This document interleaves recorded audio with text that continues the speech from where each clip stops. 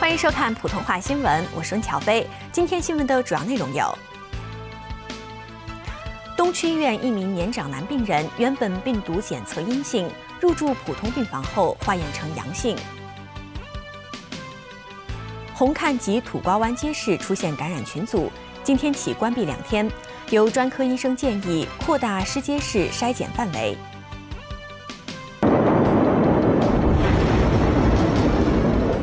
黎巴嫩首都贝鲁特港口区仓库爆炸，至少一百人死亡，超过四千人受伤。各位，再多一名新冠肺炎确诊长者离世，累计四十三宗死亡个案。消息指，今天新增八十五宗新冠肺炎确诊，而东区院一名年长男病人原本病毒检测阴性，入住普通病房后化验呈阳性。据了解，该名男子因病到东区院求医，曾经入住监察病房等候新冠病毒检测结果，结果呈阴性后转到内科病房留医。数天后，他的情况转差，另一次检测对病毒呈阳性，目前在深切治疗部留医。当局初步翻查，发现该病人在监察病房期间同病隔一名病人之后确诊，正调查两者是否有关。红磡及土瓜湾街市接连有新冠肺炎确诊个案，共涉及至少六个鱼档档贩。两个街市今天起关闭两天，有专科医生建议扩大湿街市筛检范围。红磡街市外贴出告示，指近日新冠肺炎确诊个案急增，要暂停营业，彻底清洁和消毒。土瓜湾街市外附近的菜档和肉档继续营业。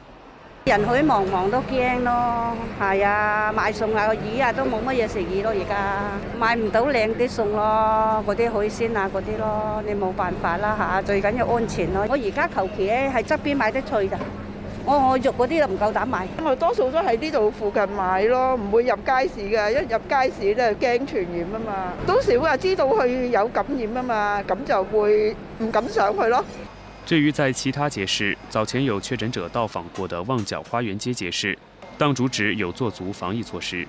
清潔下地下啊，誒做好嗰啲防護工作咯。生意差好多咯，差咗幾多？差好多啊，差幾差幾成啊！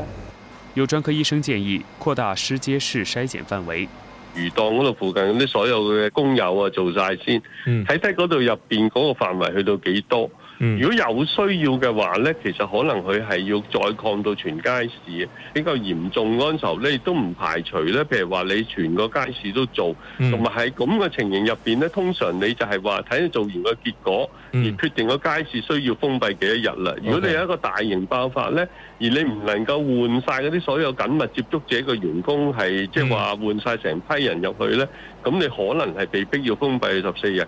他又建议市民购买食材时要注意手部清潔。無線電視記者齐东博报道。中大医学院研究发现，大约两成新冠肺炎患者肝脏受损。研究团队一月底至五月初分析超过一千名本港新冠肺炎患者的数据，发现两成三人肝脏受损，当中大约七成患者曾经留医深切治疗部，要仪器辅助呼吸，也有人病逝，病情恶化风险是没有肝脏受损的患者八倍。研究团队指，正在接受不同药物治疗的严重患者，有机会因为全身性发炎或出现不良药物反应，引致肝脏受损。建议医护人员每周为患者检测肝脏两次，及早发现病情有否恶化。如果有用誒，例如蛋白酶抑制劑加利巴韦林，再加埋干擾素咁樣一啲誒療程咧，其實佢哋有肝臟受損嘅機會咧係增加嘅。咁但係我哋亦都要留意咧，好多時候點解患者要用到誒，例如兩種甚至三種嘅治療去幫個新冠肺炎嘅誒治療咧？好多時係佢可能本身就反映咗佢個誒肺炎嗰度係緊要啲嘅。在港的内地核酸检测支援队先遣队员再到华大基因化验所，国家卫健委指，先遣队正了解检测机构运作，日后会应特区政府提出的要求提供协助。内地核酸检测支援队七名先遣队人员早上乘专车，再到大埔工业村的华大基因化验所。他们昨天已经到过包括华大在内的三间内地在港设立的检测机构。国家卫健委表示，先遣人员正了解这些机构的运作情况。后续呢，香港特区政府提出明确的检测的需求、支援的需求以后呢，那么我们会快速的、全力以赴的提供相应的支持和帮助，包括香港提出来要建设方舱医院和临时医院，那么中央政府呢会从呃专家技术层面、物资层面以及施工建设层面呢，都会按照香港特区政府的需求给予积极的支持和帮助。整支检测支援队共大约六十人，其他人何时来港呢？在内地负责协调的广东省卫健委交流处表示，仍在准备，要等国家整体安排。另外，消息指，特区政府倾向扩大检测群组，除了零售业，包括纪律部队及医护人员，正研究在启德邮轮码头附近一幅地皮改为临时医院。深圳昨天新增一宗由香港输入的新冠肺炎无症状感染病例，目前由香港入境深圳需要提交核酸检测阴性证明。政府专家顾问许树许树昌相信，患者可能在留样本后才感染，或者留样本的方法不准确，导致出现假阴性。深圳新增的境外输入个案，患者是三十七岁香港女子。经深圳湾入境深圳，入境后被集中隔离，核酸检测结果是阳性，之后被送到深圳市第三人民医院治疗，被诊断为无症状感染者。由上月中起，从香港入境深圳时，需持有香港特区政府认可机构发出的七十二小时内核酸检测阴性结果证明，并接受十四天集中隔离医学观察。中大呼吸学系讲座教授许树昌表示，有可能患者是在收集样本后七十二小时内受感染。另一个可能是本地检测机构大部分是收集生喉唾液样本，如果收集方法不对，准确度会减低。最好就係朝头早啱起身，将嗰个积聚咗喺鼻咽嗰啲分泌物咧，就轻轻向后索，索到喉咙丁，然后就吐出嚟。咁佢里边咧就因为有啲鼻咽嗰啲分泌物連埋啲口水咁樣吐出嚟，咁佢揾病毒咧就個準確度都高嘅。咁但係如果你求其係吐啲口水，你入口求其吐啲口水落個樽度，咁冇咗嗰啲鼻液嗰啲成分咧，淨係喺口水咧，嗰個準確度咧就變咗低好多。至於香港是否需要改變收集樣本方法以提升準確度，许树昌认为，如果采用内地方法，用棉花棒从喉咙收集样本，准确度虽然比较高，但需要大量人手。目前香港需要收集大量样本，生喉唾液样本仍比较方便，但要市民配合用准确方法留样本。无线电视记者吕静报道。内地昨天新增二十七宗新冠肺炎病例，二十二宗本土病例全部来自新疆乌鲁木齐市。辽宁大连市两个星期以来首次没有新增本土病例。工信部表示，仍要提升检测能力，应付疫情可能再爆发。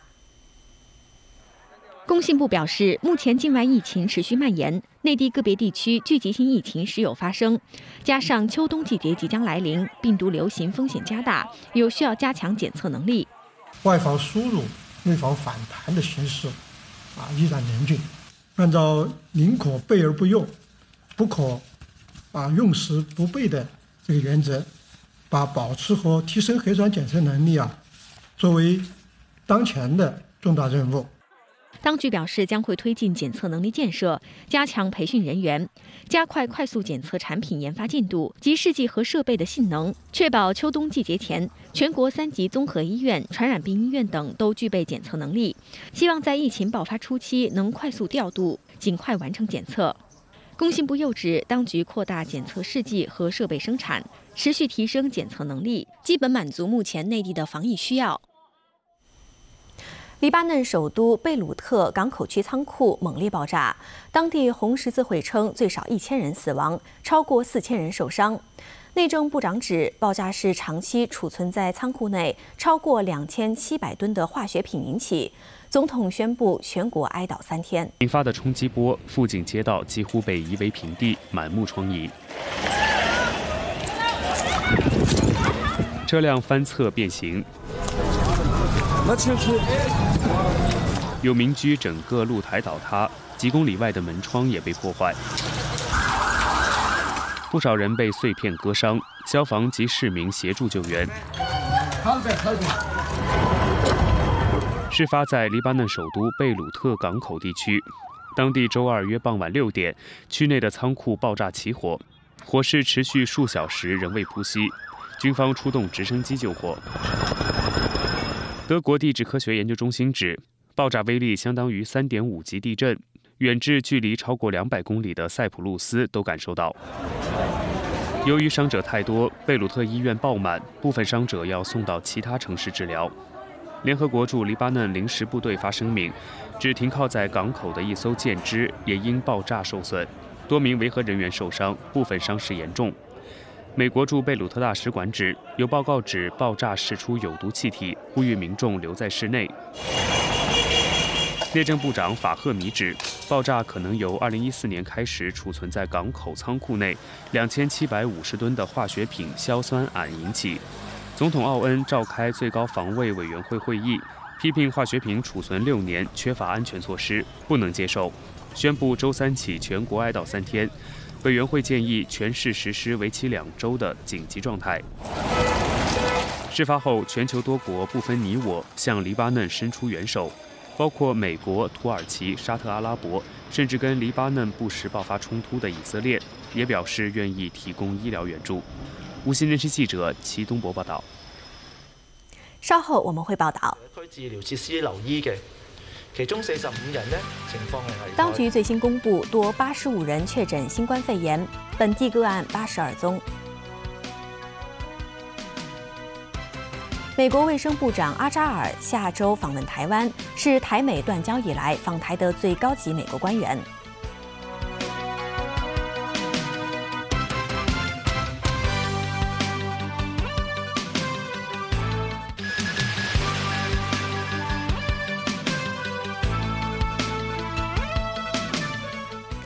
政府举行记者会，交代本港新型冠状病毒肺炎的最新情况。一起来看一下现场。追踪嘅调查啦。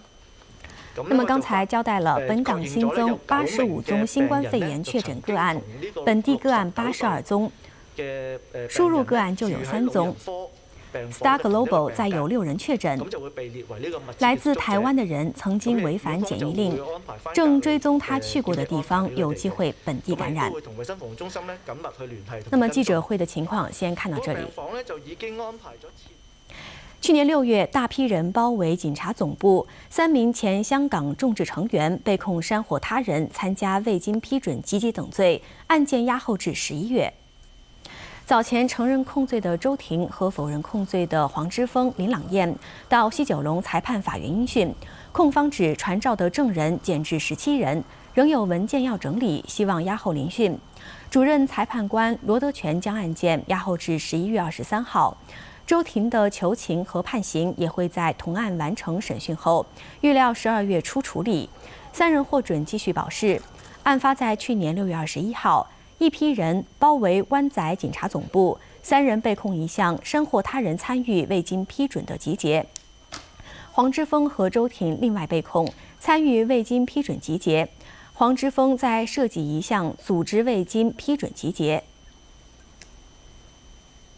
首宗违反港区国安法案件，被告申请人身保护令和保释，高等法院押后至本月二十号再处理。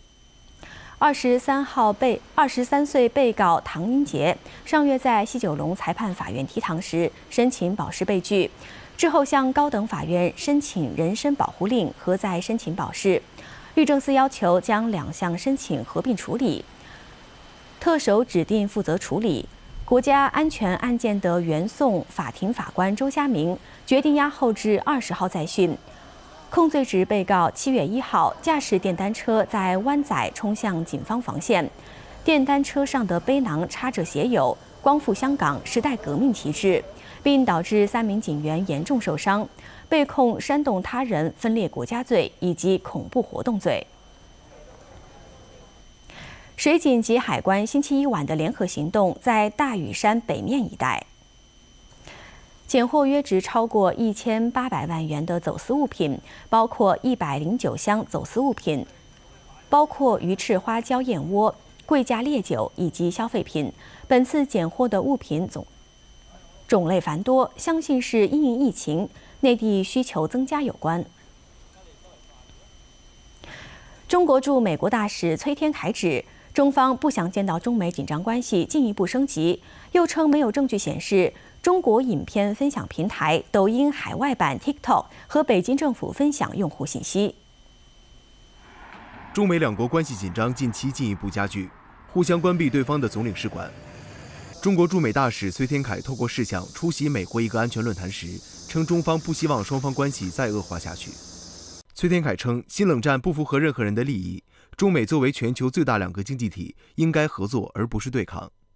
不过，崔天凯批评美国在南海地区的军事活动加剧潜在对抗风险。崔天凯又反驳美方对中国影片分享平台抖音海外版 TikTok 的指控，称无证据显示 TikTok 和北京分享用户信息。美国总统特朗普强制 TikTok 下月中前卖盘，他再重申华府要在交易中分一杯羹。I mean, we have we have all the cards because without us, you can't come into the United States. It's like if you're a landlord and you have a tenant, uh, the tenant's business needs a rent, it needs a uh, lease. And so, what I said to them is uh, whatever the price is, a very big proportion of that price would have to go to the Treasury of the United States. 有意架构 TikTok 的微软创办人盖茨称，会确保美国数据安全。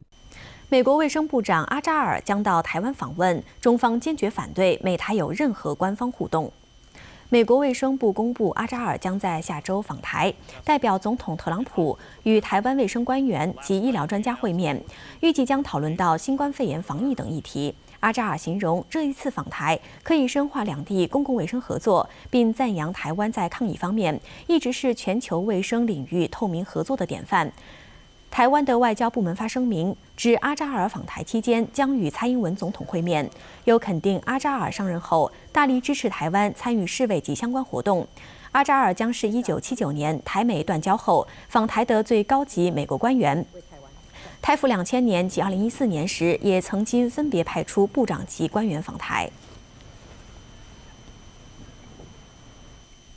新闻报道完，再会。